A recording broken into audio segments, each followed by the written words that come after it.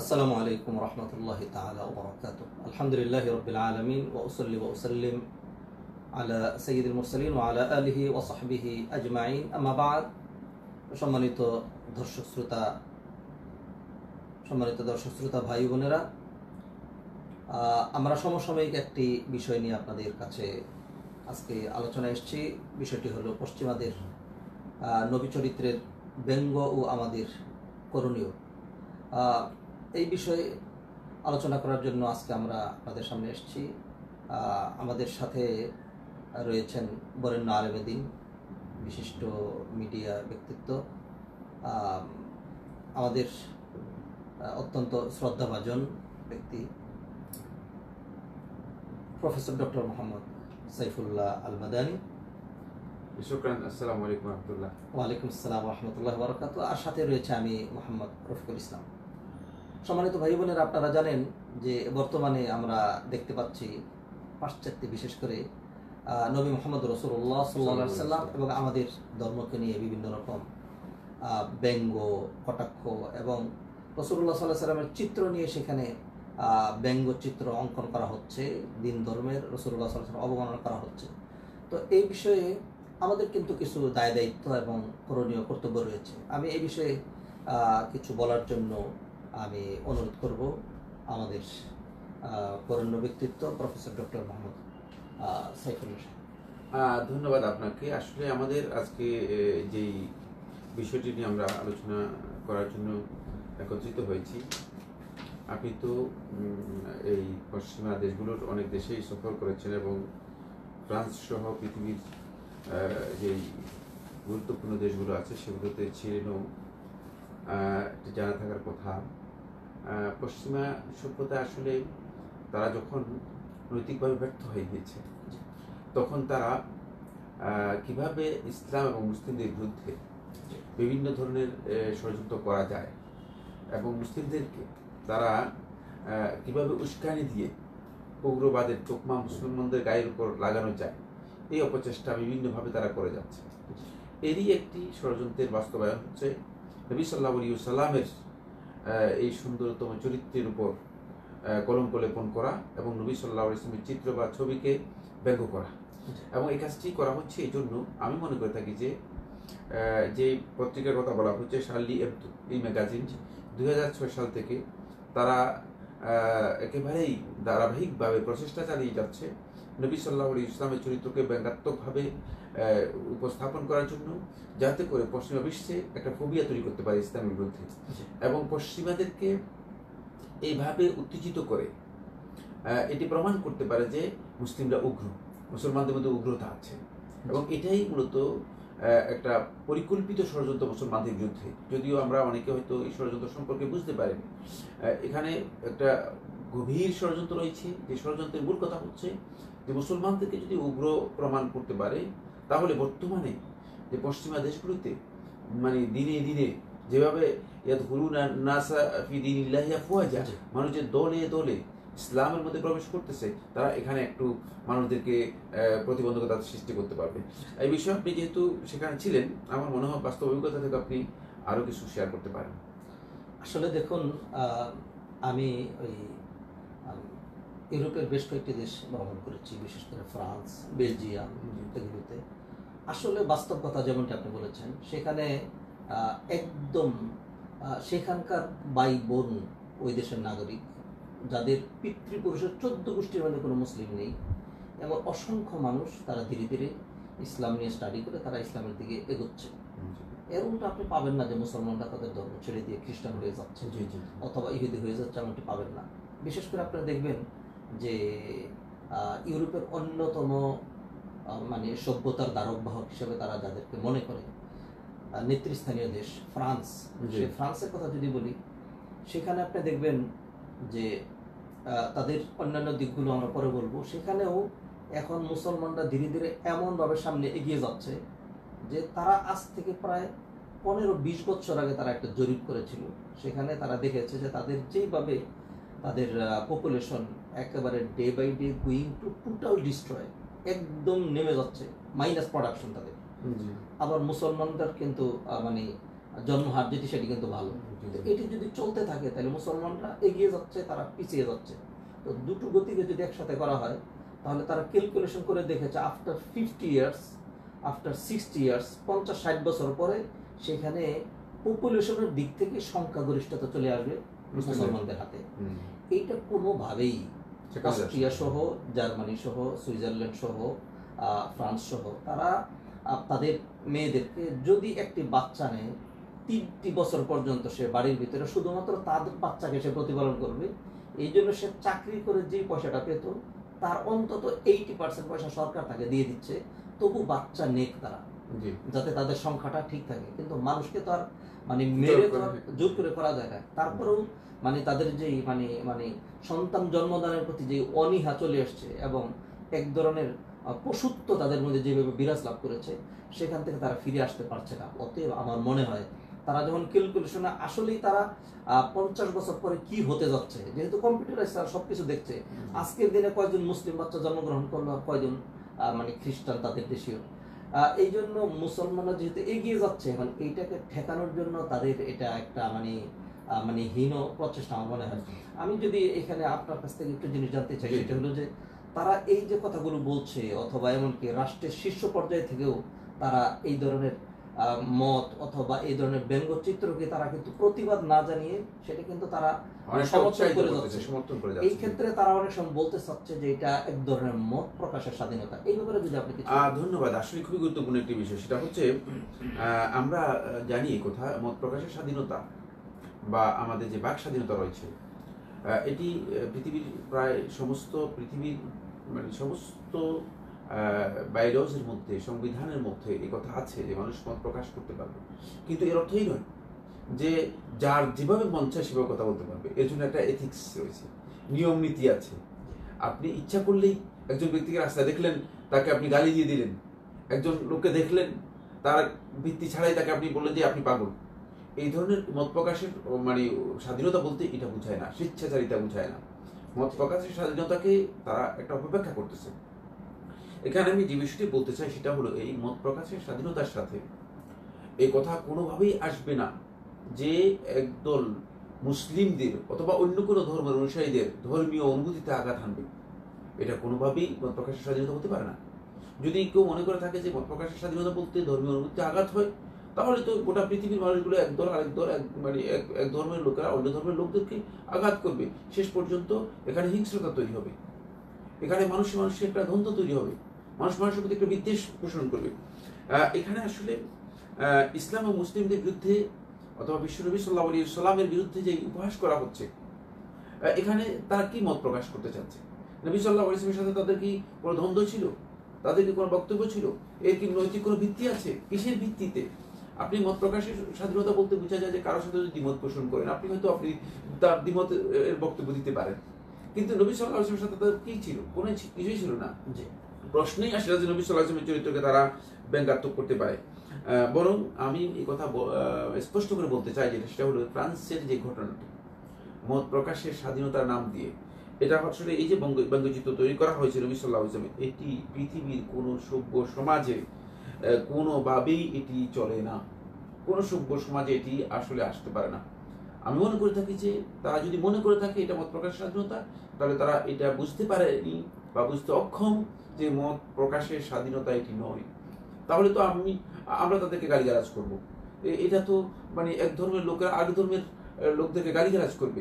তাহলে এটা কীভাবে মত প্রকাশের স্বাধীনতা হতে পারে? আমি আপনার কাছে আর জি। একটু জানতে চাই যে মত প্রকাশের স্বাধীনতা নয় শুধুমাত্র বরং একজন মানুষ তার যে লালিত চিন্তা চেতনা আকিদা বিশ্বাস সেই ক্ষেত্রে কি ইসলাম ধর্ম মানুষকে কোনো বিষয়ের উপর বাধ্য করেছে নাকি স্বাধীনতা দিয়েছে? না ইসলাম স্বাধীন। ইসলাম এত স্বাধীনতা দিয়েছিল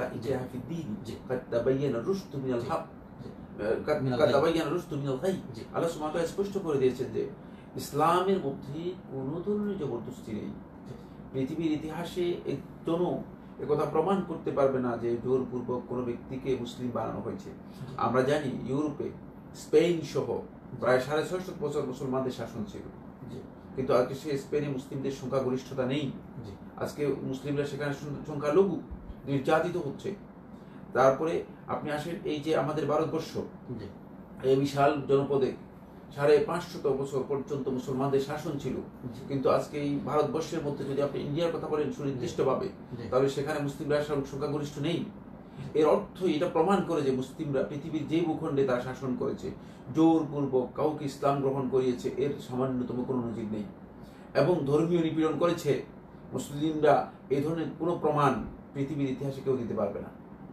এটাই প্রমাণ প্রমাণ করে যে মুসলিমরা যে সত্যিকার অর্থে তারা নীতির উপর ভিত্তি করেই শাসন করেছিল তারা শোষণ করে নেয়। কিন্তু দুর্ভাগ্যের বিষয় হচ্ছে আজকে যারা প্রগতির কথা বলতেছে আজকে যারা নিজেদেরকে সভ্য সমাজ হিসেবে দাবি করতেছে তারা ইসলাম মুসলিম মুসলিমদের সবচেয়ে প্রিয় মানুষ।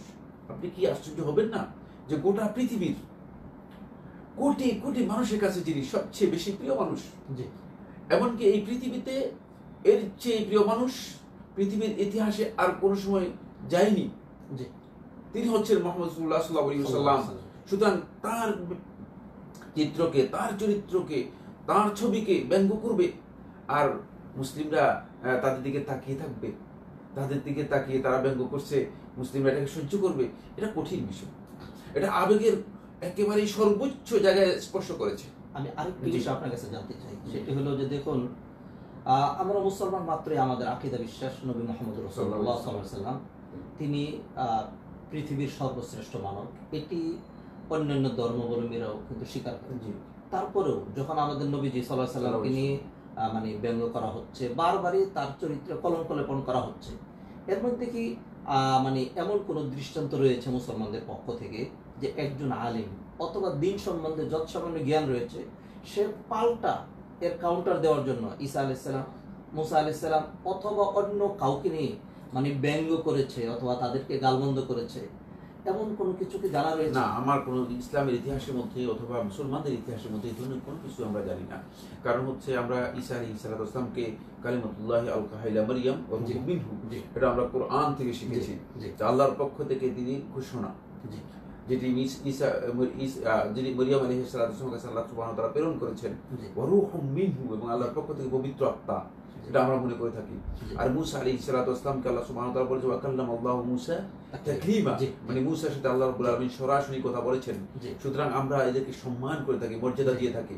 সুতরাং প্রশ্নই আসে না কোনোভাবে তাহলে এই মুসলিম ঘরে এই সমস্ত ব্যক্তিদের অপমান করবে? আমরা বলতে পারি না যে ইসলাম এবং মুসলমান মুসলমানরাই তারাই উদার মানসিকতার বরং তারাই বেশি লেটেস্ট এবং তারাই বেশি আধুনিক এবং তারাই বেশি সভ্য। কারণ হলো কোরআন আল্লাহ সুবহানাহু ওয়া তাআলা যেখানে আমাদেরকে শিক্ষা দিচ্ছেন যে আমরা কারোর মধ্যে বরং আপনারা আমরা দেখব কোরআনে কারিমে যেটি মুসলমানদের একান্ত গ্রন্থ এখানে আল্লাহ ওয়া তাআলা সবচেয়ে বেশি আলোচনা করেছেন মুসা আলাইহিস সালামের। এরপরে আমাদের আলোচনায় আমরা যে সমস্ত আলোচনা করে আমরা মানে আত্মতৃপ্তি বোধ করি মজা পাই। এবং যে আলোচনাগুলো আমাদের কাছে খুব ভালো লাগে সেটি দেখা যাবে যে আমরা ঈসা আলাইসাল্লামের জন্ম বৃত্তান্ত মুসা আলাইসাল্লামের ঘটনা প্রবাহ জি। ইত্যাদি নিয়ে। তো অতএব এরপরেও অমুসলিমরা যেটি করে যাচ্ছে সেই ক্ষেত্রে আমাদের দেশের অনেক মুসলমানরা পর্যন্ত যেটি বলছেন তারা অনেক সভ্য তারা অনেক আধুনিক তারা অনেক মডার্ন এক্ষেত্রে আপনি কি বলবেন? কথা হচ্ছে এখানেই আমরা তাদেরকে সভ্য মনে করে থাকি অথবা প্রগতিশীল মনে কর- করছি। যেহেতু আসলে বাহ্যিকভাবে দুনিয়ার যে সমস্ত উপায় উপকরণ সেগুলোর দিক থেকে তারা অ্যাডভান্স কোনো সন্দেহ। নেই কিন্তু আসলে নৈতিক দিক থেকে তাদের এটাই প্রমাণ করে যে নৈতিক দিক থেকে তাদের পদপতন আছে। নৈতিক দিক থেকে তাদের আসলেই সত্যিকার তারা সেই মানে উত্তীর্ণ হতে পারেনি। ফলে তারা ষড়যন্ত্র করে চেষ্টা করতেছে যে মুসলিমদের বিরুদ্ধে কীভাবে মুসলমানদের বিরুদ্ধে ষড়যন্ত্র করা যায়। এবং ইসলামকে অমুসলিমদের কাছে মানে এটাকে একটা বড় ধরনের আতঙ্ক হিসেবে দেখানো যায়। আমরা জানি যে মানে পশ্চিমা বিশ্বে যে সমস্ত ঘটনা প্রবাহ ইতিমধ্যে ইসলামের বিরুদ্ধে হয়েছে সব ঘটনা প্রবাহের সাথেই কেন না কেন ভাব কোনো না কোনো দিক থেকে আমরা দেখতেছি হয়তো জঙ্গিবাদকে অথবা টেরোরিজমকে নিয়ে আসা হচ্ছে অথবা নিয়ে আসা হচ্ছে যে মুসলিমরা অসভ্য অথবা মুসলিমরা উগ্রপন্থী ইত্যাদি ইত্যাদি বক্তব্য নিয়ে আসা হচ্ছে। এবং নবী সাল্লাহ ইসলামের চরিত্র হনন করার জন্য অপচেষ্টা চালানো হচ্ছে। এগুলো সবগুলোই উদ্দেশ্য হচ্ছে যাতে করে মুসলিমরা এমন কিছু আচরণ করে যে আচরণের মাধ্যমে তারা এটাকে অ্যাপ্রুভ করতে পারে তাদের কাছ থেকে এটাকে প্রমাণ করতে পারে যে হ্যাঁ দেখো তো এইটাই তাদেরকে আঙ্গুল ইশারা করতে পারে যে হ্যাঁ এই যে মুসলিমরা এইভাবে আচরণ করতেছে। আমি এখানে একটা কথা বলতে চাই সেটা হলো এই গোটা পৃথিবীতে কোটি কোটি মুসলমান রয়েছে যাদের আবেগের সাথে মোহাম্মদ সাল্লাহ সাল্লাহ ইসলাম জড়িত। যাদের জীবনের চেয়ে তারা আল্লাহ রসুল সাল্লাহ ইসলামকে অনেক বেশি ভালোবাসে। সুতরাং প্রশ্নই আসে না। তারা কি আল্লাহ রসুল সাহায্যে এগিয়ে আসবে না? ইল্লাকান সুরুহু ফাকাদ আল্লাহ তাআলা বলে দিয়েছে- দিয়েছেন কোরআনের মধ্যে যদি তোমরা তাকে সাহায্য না করো আল্লাহ তাআলা অবশ্যই সাহায্য করবেন। আল্লাহর সাহায্য এসে যাবে। আল্লাহ রাব্বুল সাহায্য অপরিহার্য হয়ে যাবে। সেখানে আমাদের যেটি করণীয় সেটা আমরা সাহায্য করব। কিন্তু এক্ষেত্রে ফ্রান্সে যে ঘটনা ঘটেছে সেটা হচ্ছে আমরা জানি যে একজন শিক্ষক আহ, তার নাম হচ্ছে স্যামুয়েল প্যাটি এই ব্যক্তি একেবারেই কোনো ধরনের মানে মানে পূর্বাভাস ছাড়াই, কোনো ধরনের পূর্বের কোনো ঘটনা ছাড়াই, কোনো ধরনের ভিত্তি, নৈতিক ভিত্তি ছাড়াই নবী সাল্লাহ ইসলাম একটা ব্যঙ্গচিত্র এনে লোকদের মাঝে এটাকে প্রচার করার জন্য চেষ্টা করতেছে। তার উদ্দেশ্য হচ্ছে উস্কানি দেওয়া আর কিছুই নয়। দৃষ্টি আকর্ষণ করা হয়েছে। কর্তৃপক্ষকে দৃষ্টি আকর্ষণ করা হয়েছে। শিক্ষকের এই কাজটা সঠিক হচ্ছে না এটা বলা হয়েছে। তারপরেও জোরপূর্বক এই কাজটি করেছে। এখন সেখানে কোন একজন ব্যক্তি যদি আবেগতাড়িত হয় তাকে হত্যা করে ফেলে আবেগ তার হতেই পারে। কারণ পৃথিবী আমি বলেছি পৃথিবীর কোটি কোটি মানুষ আল্লাহ রাসূল ভালোবাসা তাদের অন্তরের মধ্যে লালন করে যাচ্ছে কোন একজন ব্যক্তি যদি আবেগতাড়িত হয়ে তাকে হত্যা করে ফেলে এর দায়ী দায়িত্ব শুধুমাত্র ওই ব্যক্তির উপর। এটাকে গোটা মুসলিম সমাজের সাথে এটাকে মানে অ্যাড করে দিয়ে এটাকে যুক্ত করে দিয়ে মুসলমানদেরকে এটা টেরোরিস্ট প্রমাণ করার জন্য মুসলমানদের বিরুদ্ধে যাওয়ার জন্য এই কাজটি করা মানে আমি মনে করে থাকি এটা সঠিক নয়। কিন্তু এক্ষেত্রে উচিত ছিল যে ফ্রান্সের উচিত ছিল এটাকে যথাযথভাবে সমাধান করা এবং কোনোভাবে উস্কানের দিকে না দেওয়া। কিন্তু দুর্ভাগ্যের বিষয় হচ্ছে আমরা যখন ফ্রান্সের প্রেসিডেন্টের বক্তব্য যখন আমরা শুনলাম এই ম্যাক্রন, এই যে ব্যক্তি, তিনি যে বক্তব্য দিয়েছেন, তার বক্তব্য যেটা মনে হচ্ছে যেন তিনি বাক স্বাধীনতার নাম দিয়ে বা বক্তব্যের স্বাধীনতার নাম দিয়ে তিনি যে কথা বলছেন, এটা পরিপূর্ণরূপে একটা বিকৃত চিন্তার অধিকারী ব্যক্তি।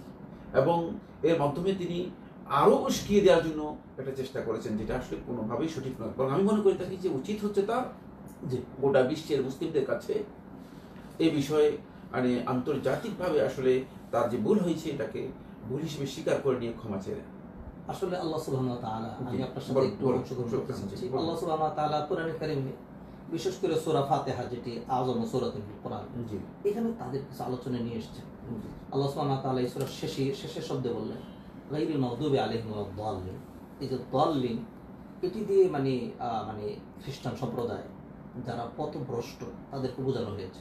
আমরা আজকে তাই তো দেখতে পাচ্ছি যে এখানে যে স্বাধীনতা নিয়ে আপনি কথা বলছেন। তা আমরাও তো স্বাধীন দেশের মানুষ স্বাধীন আমরা স্বাধীন সেই ক্ষেত্রে কেউ যদি মনে করে যে হাইওয়ের মাঝখানে বসে আমি রেস্ট নেব অথবা আমি হাইওয়ের মাঝখানে বলে বসে আমার মানে মানে প্রস্রাব যেটা খুশি সেটা করব। এই স্বাধীনতা তো। একজন একজন যদি আমাদের প্রধানমন্ত্রীকে গালিগালাজ করে সে বলে যে আমি স্বাধীন। এই স্বাধীনতা তো কোথাও দেওয়া হয় না। অতএব এটি তাদের ভুল। আর তাদের যে সভ্যতা নিয়ে আমাদের সমাজের মানুষ মানে মানে অনেকে যারা জানে না বাস্তবতায় হয়তো শুধুমাত্র দূর থেকে শুনে অথবা তাদের বৈশ্বিক জিনিসটা দেখে। আমি আসলে সেখানে বেশ কয়েকবার আমার যাওয়ার সুযোগ পেয়েছি।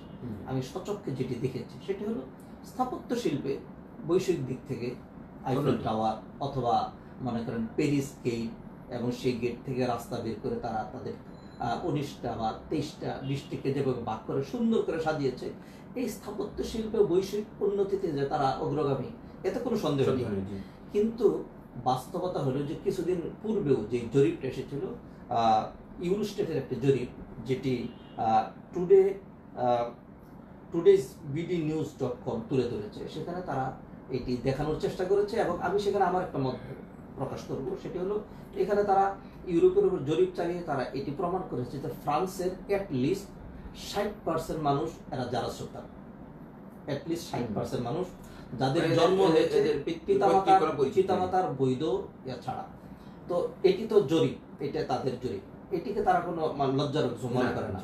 আপনি যদি আমার কাছে বলতে জানতে চান আমি যেটি দীর্ঘ দশ বছর ইউরোপে থেকে আমি দেখেছি সেখানে হয়তো এখানে কিছু উদারতায় অথবা এটি এর চেয়ে বেশি বললে বাড়াবাড়ি হয়ে যায় কিনা সেজন্য এমন একটি জরিপ। আপনি যদি আমার থেকে জানতে চান এবং ধর্মীয় দৃষ্টিকোণ থেকে তাহলে বলব যে অ্যাট লিস্ট নাইনটি পার্সেন্ট লোক তারা বাস্টার্ড এবং যারা সন্তান কারণ হলো যে বাস্তবতা। বাস্তবতা। সেখানে বিবাহ। এবং তালাকের বিষয় রয়েছে। দেখা যাচ্ছে যে স্বামী স্ত্রী তাদের বন্ধন রয়েছে স্বামী স্ত্রী। কিন্তু এই স্ত্রী যে সন্তানটা গ্রহণ করেছে তার স্বামীর নয় অন্য খান থেকে। এটাকে তারা বৈধ মনে করছে। আচ্ছা আবার দেখা যাচ্ছে যে এই স্বামীটা তার স্ত্রীকে একাধিকবার তালাক দিয়েছে। স্ত্রীটা তার স্বামীকে বহুবার ডিভোর্স দিয়েছে, আবার একসাথেই থাকছে, এর মধ্যে বাচ্চা হচ্ছে, এটাকে তারা বৈধ ধরে নিয়েছে। তো এই সমস্ত কেস বাদ দিয়ে বাকি যেটি সেটিকে জরিপে নিয়ে আসছে ষাট পার্সেন্ট অতএব যারা জন্মগত দিক থেকে যাদের অবস্থা বাস্তবতা এরকম, তাদের থেকে এর চেয়ে ভালো ভালো কিছু চিন্তা করা, কামনা করা, সেটিও কিন্তু আমাদের ভুল। অতএব অতএব শুধুমাত্র মানে all that glitters is not gold চকচক করলে শোনা হয় না। তাদের চর্মের কালার তাদের স্থাপত্য শিল্প বৈশ্বিক উন্নতি আল্লাহ সুবহানাহু ওয়া তাআলা তো দুনিয়া তো যা দুনিয়া তো যাকে খুশি তাকে দিয়ে থাকেন ইন্নাল্লাহ ইউতি দুনিয়া মানে ইউহিব্বু মান লা ইউহিব অতএব অতএব প্রকৃত সভ্য আমি প্রমাণ করতে চাই প্রকৃত সভ্য মুসলমানরা। যারা আজও পর্যন্ত ইতিহাসে যে হয়নি যে ঈসা আলাইহিস সালামকে একটিবার গালিগালাজ করেছে মুসা আলাইহিস সালামকে গালিগালাজ করেছে অথবা তাদের ধর্মে কলঙ্ক লেপন করেছে অথবা কাউকে ইসলাম ধর্ম গ্রহণে বাধ্য করেছে এমনটি করেনি অতএব মানে অমুসলিমরা যে বাড়াবাড়িটি করে যাচ্ছে আমার মনে হয় এই বাড়াবাড়ির দিন অচিরই শেষ হয়ে আসছে। এবং ডে বাই ডে সেখানে মুসলিম পপুলেশন বেড়ে যাচ্ছে। সংঘাত হয়তো আরও বেড়ে যাবে সংঘাত হয়তো আরও বেড়ে যাবে কিন্তু একটা পর্যায়ে ইসলাম কিন্তু বিজয় চলে আসবে। আমি আপনার কাছে জানতে চাবো যে এই যে একটি পরিস্থিতি চলছে এই অবস্থায় হক বাতিলের দ্বন্দ্ব তো সারা জীবনই ছিল। সেই ক্ষেত্রে আমার করণীয় কি আপনার করণীয় কি আমাদের করণীয় কি? ধন্যবাদ খুব গুরুত্বপূর্ণ একটি বিষয়। আল্লাহ সুবহানাহু ওয়া তাআলা কোরআনিকের মধ্যে ইরশাদ করেছেন ইন্না যারা ব্যঙ্গ বিদ্রুপ করবে উপহাস করবে। খারাপ ব্যবহার করবে জি। তাদের ব্যাপারে আমি আপনার জন্য যথেষ্ট। জি। আল্লাহ রাব্বুল আলামিন কিন্তু ছাড়বেন না। আল্লাহ রাব্বুল আলামিন শাস্তি অবশ্যই আসবে। ওয়াল্লাযীনা ইউযুনা রাসূলুল্লাহি লাহুম আযাবুন আলীম। সূরা আত-তাওবা 61 নম্বর আয়াতের মধ্যে আল্লাহ সুবহানাহু ওয়া তাআলা বলেছেন যারা আল্লাহ রাসূলকে কষ্ট দিবে তাদের জন্য যন্ত্রণাদায়ক শাস্তি রয়েছে। এটি ফ্রান্স নয় গোটা পৃথিবীর ওই কাফের গোষ্ঠী সকল প্রগতিশীল যারা আছে সবাইকে জানতে হবে যে আল্লাহর আজাব থেকে তারা মানে কোনোভাবেই পার পাবে না। একই একই বক্তব্য আল্লাহ সুবহানাহু ওয়া তাআলা সূরা আহজাবের 57 নম্বর আয়াতের মধ্যে আল্লাহ সুবহানাহু ওয়া তাআলা বলেছেন ইন্নাল্লাযীনা ইউযুনা রাসূল ইউযুনা আল্লাহ ওয়া রাসূলাহু লাআনাহুমুল্লাহু ফিদ দুনিয়া ওয়াল আখিরা ওয়া আ'আদ্দা লাহুম মুহিনা। নিশ্চয়ই যারা আল্লাহ এবং তার রাসূলকে কষ্ট দিবে। তাদের জন্য দুনিয়া এবং আখিরাতে আল্লাহর লানত রয়েছে এবং তাদের জন্য আল্লাহ ওয়া অত্যন্ত লাঞ্ছনাদায়ক শাস্তি রেডি করে রেখে দিয়েছেন। শেখুল ইসলাম তাইমিয়া রাহমাতুল্লাহ সূরা আত-তাওবায় এই 61 নম্বর আয়াতে ব্যাখ্যার মধ্যে বলেছেন যে, ইয়াতাহাত্তামু থেকে বোঝা যায়, আল্লাহ রাসূল সাল্লাল্লাহু আলাইহি ওয়াসাল্লামকে গালি দিবে তাকে হত্যা করা ফরজ এই কথাটি এই আয়াত থেকে বোঝা যাচ্ছে। যেহেতু এই আয়াতের মধ্যে আল্লাহ ওয়া ইঙ্গিত দিয়েছেন আল্লাহ রাসূলকে কষ্ট দেওয়ার বিষয়টি আল্লাহ রাব্বুল আলামিনের কাছে অত্যন্ত অপছন্দ গৃহীত বিষয়। এর জন্য কঠিন শাস্তির কথা বলেছেন এবং সেটা দুনিয়া এবং আখিরাতে তার জন্য কঠিন কথা আল্লাহ ওয়া উচ্চারণ করেছেন। এখানে আমি যে বিষয়টি বলব সেটা হচ্ছে এই মুসলিমদের এখানে মৌলিক যে করণীয় রয়েছে সে করণীয় হচ্ছে তারপরেও আহ, আমাদের আবেগ আছে। স্পর্শকাতর একটি বিষয়। কিন্তু আবেগ তাড়িত হলে চলবে না। আমাদেরকে বাস্তবমুখী হতে হবে। আমরা যে কাজই করি না কেন আমি অত্যন্ত স্পষ্ট করে বলতে চাই বাস্তবমুখী হতে হবে। এখানে কতটুকু আমরা করতে পারব কতটুকু আমরা কনফ্লিক্টে গেলে আমাদের জন্য ইসলামের জন্য ক্ষতি হবে না মুসলিমদের জন্য ক্ষতি হবে না এই বিষয়গুলো আমাদেরকে বিবেচনা করে বাস্তবমুখী আমাদেরকে হতে হবে। শুধু আবেগ তাড়িত হলে চলবে না। আবেগ তাড়িত হয়ে আমরা দুজন ব্যক্তিকে আঘাত করলাম এটি ইসলাম অনুমোদন দেয় না। ইসলাম যে বিষয়টি অনুমোদন দেয় না সেই কাজটি আমরা করব না। দ্বিতীয় যে বিষয়টি সেটা হলো এই মুসলমানদের শক্তি আরও বৃদ্ধি করতে হবে। মুসলমানদেরকে শক্তি বৃদ্ধি করতে হবে। মুসলমানদের শক্তি কোথায়? মুসলমানদের শক্তি হচ্ছে একটি শব্দের মধ্যে সেটা হচ্ছে তৌহিদের মধ্যে। কালে মতো তৌহিদকে যদি আমরা আঁকড়ে ধরতে পারি সেই তৌহিদ আমাদেরকে সব জায়গায় একত্রিত করে দিবে। এটা ঐক্যের মূল ভিত্তি। এই জন্য মুসলমানদের শক্তিকে আরও শক্তিশালী করতে হবে। আরেকটি বিষয় যেটা সেটা হলো এই নবী সাল্লাহ সাল্লামের উন্নত চরিত্রের বিষয়টি ওরা বিশ্ববাসীর কাছে তুলে ধরতে হবে। এখানে একটি ভুল কাজ হচ্ছে সেটা হলো এই আমরা লক্ষ্য করে এসেছি যে আমাদের অনেক ভাই এই বিষয়গুলো শেয়ার করতেছে ব্যঙ্গচিত্র শেয়ার করতেছে এটি কিন্তু জায়েজ নেই। আপনি কীভাবে এটা প্রমোট করবেন? আমার জন্য জায়েজ নেই। মানে আমি আল্লাহ রসুল সাল্লাহ আলী সাল্লামের ব্যঙ্গচিত্র একদম তৈরি করেছি সেটাকে কোনোভাবেই প্রচার করতে পারি। এটাকে শেয়ার করবেন না। আমি স্পষ্ট করে আমাদের ভাইদেরকে বলে দিতে চাই এই বিষয়গুলো শেয়ার করবেন না। কারণ এগুলো শেয়ার করার অর্থ হচ্ছে আমি তাদের এই কাজটা কাজে আমি লিপ্ত হয়ে গেলাম। মানে তাদের এজেন্ডা তাদের এই ষড়যন্ত্র তারা আমার মাধ্যমে এটাকে বাস্তবায়ন করাচ্ছে আমার মধ্যে এটাকে প্রমোট করাচ্ছে। এই কাজটি যাতে আমরা না করতে পারি। আরেকটি বিষয় হচ্ছে যেটা সেটা হলো এই আমাদের খেয়াল রাখতে হবে যে তারা যে মানে দুর্ব্যবহার এবং কটূক্তি ঠাট্টা ঠাট্টা বিদ্রুপ করছে এই এখানটাকে প্রতিহত করার ক্ষেত্রে প্রতিবাদের ক্ষেত্রে আমাদেরকে ইসলামের যে দাওয়াবিতুল দাওয়াবিত ইনকারি মুনকার। জি। মানে কীভাবে মুনকারকে প্রতিহত করতে হবে এর একটা দাওয়াবিত আছে। একটা মূলনীতি আছে সেই মূলনীতি আমাদের লঙ্ঘন করা যাবে না। সেই মূলনীতি লঙ্ঘন করা যাবে না। আল্লাহ রসুল সাল্লাহ ইসলামকে মক্কার জীবনে গালিগালাজ করা হয়েছে। সাহির মজনুন কাহিন। আমরা আমরা জানি এগুলো সব যে কত কথা বলা হয়েছে। শুধু গালিগালাজ? না। শারীরিকভাবে অত্যাচার করা হয়েছে করা হয়েছে কি জি। আপনি জানেন সব বিষয়।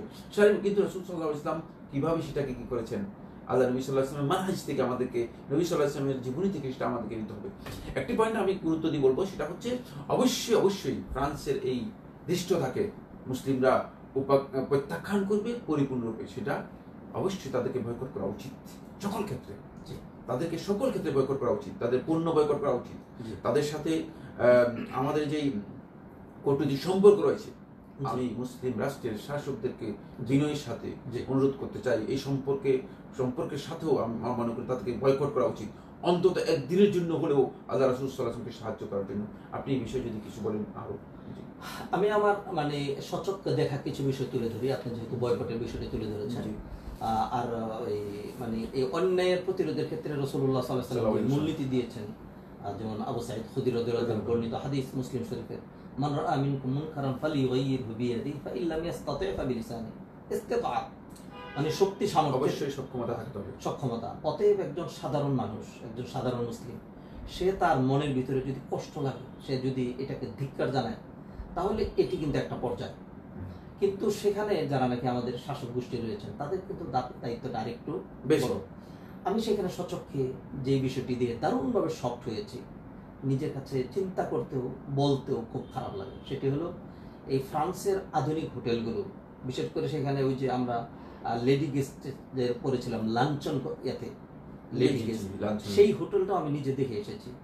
ওইখানকার আধুনিক যে হোটেলগুলো এই হোটেলগুলো বিশেষ করে যখন নাকি ভ্রমণের সিজন আসে তখন টুরিস্টের at least seventy percent Muslim. Muslim. বিশেষ করে আরব মুসলিম। সেখানে আরব মেয়েদেরকেও বিভিন্নভাবে দেখা যাচ্ছে যে হিজাববিহীন অবস্থায় মানে এই যে তাদের অর্থনৈতিক প্রবৃদ্ধি উন্নতি অগ্রগতি এই অর্থের কিন্তু বড় ধরনের একটা অংশ মুসলিম কান্ট্রি অতএব বয়কটের বিষয়টি এখন আমার মনে হয় স্পষ্ট করা দরকার। আইন হয়ে যাচ্ছে। ফরজে আইন হয়ে যাচ্ছে। অতএব। মুসলমান যদি এইগুলো বয়কট করে এবং যদি রাষ্ট্রীয়ভাবে ঘোষণা করে দেওয়া হয় যে যে সকল কান্ট্রি এই ধরনের ভূমিকায় যাবে আমাদের কোনো টুরিস্ট তাদের দেশে যাবে না। হুম, তাহলে আমার মনে অ্যাটলিস্ট অর্থনৈতিক দিক থেকেও তারা কিন্তু সংকুচিত হয়ে আসবে। এবং এটি আমাদের কতটুকুন হলো না হলো সেটা তো আমার দেখার বিষয় না। আল্লাহ সুবহানাহু ওয়া তাআলা তো আমার নিয়তটা দেখবেন। তারপর- মা আয়েশা রাদিয়াল্লাহু তাআলা হাদিস বর্ণনা করছেন যে কিয়ামতের পূর্বে একদল কাবাগর ভাঙতে আসবে। জি। তখন তাদের ইউসাফু বি আউয়ালিহিম ওয়া আখিরিহিম। জি। রাসূলুল্লাহ বলেছেন মা আয়েশা প্রশ্ন করলেন যে এদের মধ্যে তো এমন লোক রয়েছে আহ, অফিহিম আহ, মান লাইসা মিনহুম। মান লাইসা মিনহুম। যারা তাদের কাবাগর ভাঙতে আসেনি রাসূলুল্লাহ সাল্লাল্লাহু আলাইহি ওয়াসাল্লাম বলেন ইউসাফু বি আউয়ালিহিম ওয়া আখিরিহিম সুম্মা ইউবাসুনা আলা নিয়াতিহিম। অতএব নিয়তের বিষয়টি আমি কতটুকু করলাম?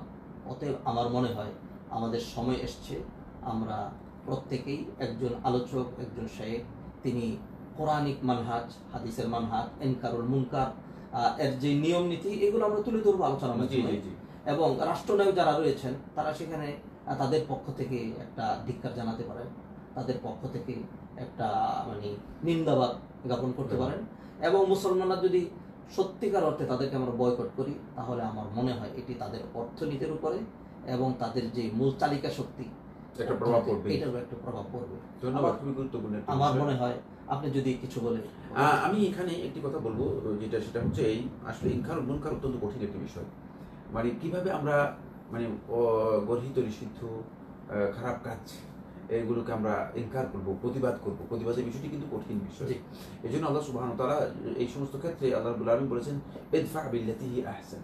এটাকে যখন প্রতিহত করতে যাবেন তখন সর্বোত্তম পন্থায় এটাকে প্রতিহত করতে হবে।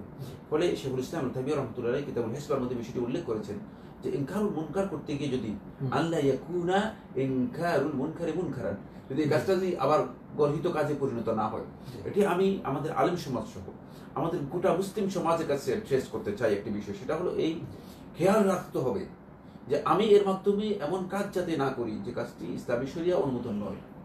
কারণ জুলমের জন্য জুল করা জায়েজ নেই অন্যায়ের জন্য অন্যায় করা জায়েজ নেই যেটা আমাদের খেয়াল রাখতে হবে। আমরা প্রতিবাদ করব।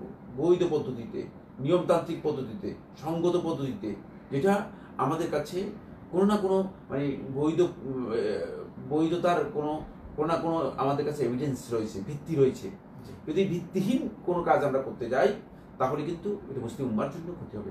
আর এই বিষয়টি স্পষ্ট সেটা হচ্ছে এই আমরা জানি যেহেতু মুসলিমরা সেখানে সংখ্যালঘু সেক্ষেত্রে মুসলিমদের খেয়াল রাখতে হবে যে তাদের সংখ্যালঘু হওয়ার বিষয়টিও খুবই খেয়াল রাখতে হবে। কারণ এটা যদি যাতে করে মুসলিমদের উপর এমন কোনো প্রভাব না আসে যার কারণে হাজার হাজার মুসলিমকে এর জন্য জীবন দিতে হয় এই বিষয়টি খুব ভালো করে মুসলমানদের জানা উচিত। যাতে করে তারা তাদের আচরণের মধ্যে এমন কোনো আচরণ না করে যে আচরণের কারণে হাজার হাজার মুসলিমের তো প্রবাহিত করতে পারবে। আমি আপনাকে ধন্যবাদ জানাচ্ছি অনেক গুরুত্বপূর্ণ কথা তুলে ধরার জন্য। জাজাকুল্লাহ ফেরান আর পাশাপাশি আমি সম্মানিত দর্শক শ্রোতা ভাইদেরকে আমরা নিবেদন করব। আসুন রসুল্লাহ সাল্লাহ সাল্লামের ভালোবাসাকে আল্লাহর ভালোবাসাকে আমরা সবার ঊর্ধ্বে স্থান দেব। রসুল্লাহ সাল্লাহ সাল্লামকে কলঙ্ক লেপন করা হবে। আপনি যদি আপনার মনেও ব্যথা না পান, তাহলে আমি এর জন্য আপনাকে একটি হাদিস শোনাতে পারি। রসুল্লাহ সাল্লাহ সাল্লাম বলছেন, আল্লাহ ইউমিনু আহাদুকুম হাত্তা আকুনা আহাব্বা ইলাইহি মিন ওয়ালিদিহি ওয়া ওয়ালাদিহি ওয়ান নাস আজমাইন। একজন ব্যক্তি ইমানদার হতে পারে না ততক্ষণ পর্যন্ত, যতক্ষণ আমি নবী তার কাছে সব কিছুর চেয়ে বেশি প্রিয় মনে না হব। অতএব আসুন রসুল্লাহ সাল্লাহ সাল্লামের ভালোবাসাকে আমরা প্রাধান্য দেব। আর যারা নবীজিকে মানে যারা কটাক্ষ করে, যারা আমাদের দিন ধর্মকে কলঙ্ক লেপন করে, তাদের সাথে আমরা ন্যূনতম, আমরা আমাদের মনের যে গভীর সম্পর্ক, আমরা সেটি ত্যাগ করব। আমাদের অন্তরের ভিতরে তাদের প্রতি ঘৃণা থাকবে। আসুন, আমরা আমাদের দিন ধর্মকেই ভালোবাসবো। আসুন, আমরা নেক নিয়তের মাধ্যমে আমরা অন্যের প্রতিবাদের মাধ্যমে আমরা আমাদের রসুল্লাহ সাল্লাহ সাল্লামের মধ্যে ভালোবাসা আছে সেটি আমরা প্রমাণ করার চেষ্টা করি। আসুন প্ল্যান ওয়াইজ ইনশাল্লাহ ইসলামের ফিউচার একটি ব্রাইট এবং বাস্তবতা বলে দিচ্ছে মুসলিম মুসলমানরা এগিয়ে যাচ্ছে তারা পিছিয়ে যাচ্ছে সেই আশায় আসুন আমরা সবর করে। প্ল্যান ওয়াইজ আমরা ধীরে ধীরে দিনের জন্য নিজেকে ব্রতী করি সবার জন্য কল্যাণ কামনা করে এবং এই কঠিন মুহূর্তে এবং আমাদের উপরে যে আজকে করোনার যেই অবস্থা এটি কিন্তু আমাদের কৃতকর্মের ফলে। আল্লাহ ওয়া তাআলা আমাকে আপনাকে আমাদের সবাইকে এই করোনা মহামারী এই প্যান্ডামিক থেকে তিনি আমাদেরকে ভালো রাখুন সুস্থ রাখুন। আল্লাহ ওয়া তাআলা দিন দিন আমাদের আম, আম, দিন ইসলামকে আরও শক্তিশালী করে দেন। আল্লাহ ওয়া তাআলা আমাদের ইমানকে বৃদ্ধি করে দেন। সকলের জন্য সার্বিক কল্যাণ কামনা করে রসুল্লাহ সাল্লাহ সাল্লামের প্রতি ভালোবাসা নিবেদন করে আল্লাহ সুবহানাহু তালার কাছে এই পরিস্থিতির আশু মুক্তি কামনা করে আমরা আজকের মতো এখানেই শেষ করছি। ওমা তৌফিক ইল্লা আসসালামু আলাইকুম রহমতুল্লাহ তাহলে